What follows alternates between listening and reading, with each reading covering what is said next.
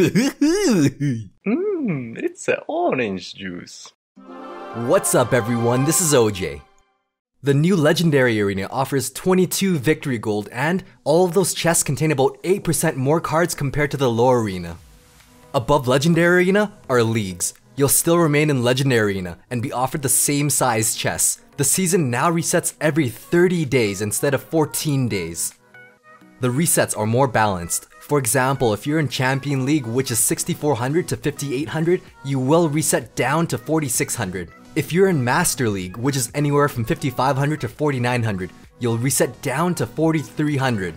Last and least, if you're at 4000 to 4600, you will reset down to 4000. If you've reached at least 4000 trophies, you'll be ranked in Challenger 1. After 30 days, you will get one draft chest. This chest contains around 2000 gold, 100 cards, 10 epics, and 50 rares. And you can actually pick between two cards on which one you will get. The victory gold in this league is 24. The next step up is Challenger 2 at 4300 trophies. This contains around 3000 gold, 15 guaranteed epics, 75 rares, and 26 victory gold. And Challenger 3 is attainable at 4600 trophies, offering 4000 gold, 20 epics, 100 rares, and 26 victory gold. Then at 4900 trophies, you reach Master 1. This draft chest has 5000 gold, 25 epics, 125 rares, and 30 victory gold. Next comes Master 2, attainable at 5200 trophies. You get 6000 gold, 30 epics, 150 rares, and 32 victory gold. The last Master League, reached at 5,500 trophies, offers 7,000 gold, 35 epics, 175 rares, and 34 victory gold. Finally, the Champion League, reachable at 5,800, offers 8,000 gold, 40 epics, 200 rares, and 36 victory gold. Next up is the Grand Champion League at 6,100 trophies, offering 9,000 gold, 45 epics, 225 rares, and 38 victory gold.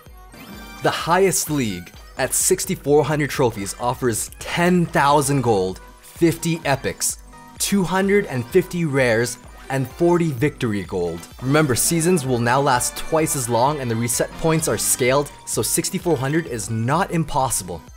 Now here's something interesting.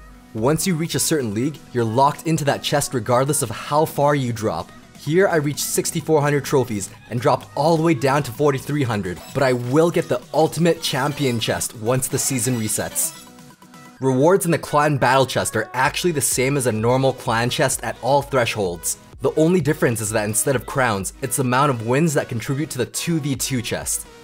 2 vs 2 will happen every second weekend, and if your clan happens to finish the chest, you can still play during that weekend until that event is over. You can now see tournament standard stats of cards. It goes up or down depending on your level, so for my giant, it leveled it down. Max level epics used to only hold one card, now you can hold up to 5 cards. This is great because max level players can share their wealth during Epic Sundays. Bats and Night Witch are found in Frozen Peak. The Bandit lurks in the Jungle Arena, and Heal will be unlockable in the mountains. In the new Legendary Arena, once you reach the 3 minute overtime mark, confetti starts falling off the screen. With the new clone spell buff, Sparky will still retain her charge, while her clone does not spawn charged. The log's range was reduced from 11.6 to 11.1. This minuscule change is quite dramatic and an indirect buff to spell bait decks. You can no longer take out a Goblin Barrel and Princess that's sitting at the bridge. Thanks for watching, stay tuned for more quality OJ.